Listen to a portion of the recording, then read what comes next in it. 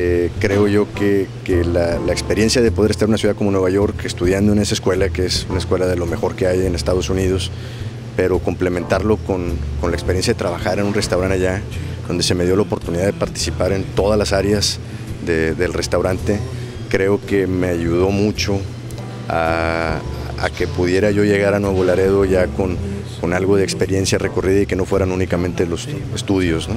como todos, ¿no? Como todo buen mexicano, nos tocó este, siempre participar en esa carnita asada que se hacía en los domingos en la casa, este, participar ahí en la, a la hora del pavo en Navidad, este, y todas las, todas las costumbres que todos tenemos de, que van alrededor de la comida, alrededor de la cocina. Eh, creo que ahí empieza el gusto, ¿no? Por, el gusto por la cocina.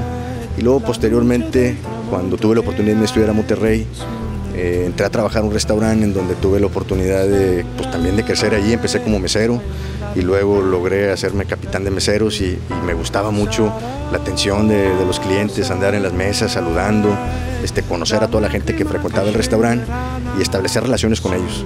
Entonces de ahí fue que, surgió la inquietud mía de, poder hacer un restaurante y terminé mi carrera, este, porque yo creo que pues, en ese momento no pensaba o sea, no pensaba que iba a tener un restaurante, pero fue cuando precisamente terminé mi carrera que dije, bueno, este es algo que, me gusta, que, creo que puedo hacer bien.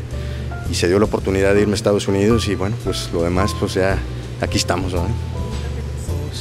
Pues yo creo que yo vengo de una familia, para todos los que nos conocen, que, conocen a mi familia, saben que somos una familia que nos juntamos alrededor de la comida.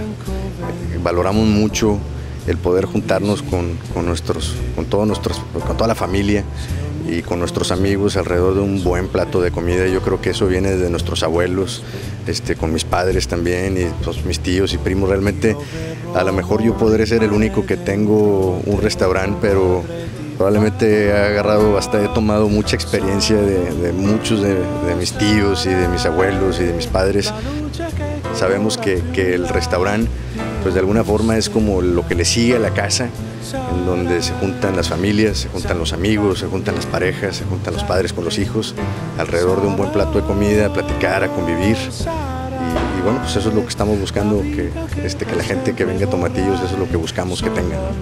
La gente nos ha preferido, la gente nos sigue, nos sigue visitando después de 12 años, están siempre dispuestos a, a probar lo que queremos proponer y, creo que cada año que pasa pues, nos conocemos mejor, nos conozco mejor a los gustos de nuestros clientes y pues tratamos de, mantenerlos contentos, que ese es al final de cuentas el propósito de un restaurante, ¿no? Tener a sus clientes con su estómago lleno y felices. Todo es algo que está evolucionando y innovando y, definitivamente yo creo que si, si alguien se acuerda de cómo era nuestro menú hace 12 años a cómo es ahora, pues este, ha, ha habido una gran evolución para bien y yo espero que dentro de otros 12 años más pues yo pueda estar ahorita diciéndote que la carta de hoy, del día de hoy, pues ya es totalmente diferente, manteniendo la esencia, ¿verdad? Pero, pero de que seguimos con esa ilusión de estar proponiendo siempre cosas nuevas y diferentes a nuestros clientes. Aquí está mi familia. Yo he tenido la oportunidad de también echar raíces aquí. Estoy feliz de, ser parte de esta comunidad que me ha dado tanto. Y, y yo no hubiera, jamás imaginé vivir en ningún otro lado. Entonces, este, realmente nunca lo contemplé.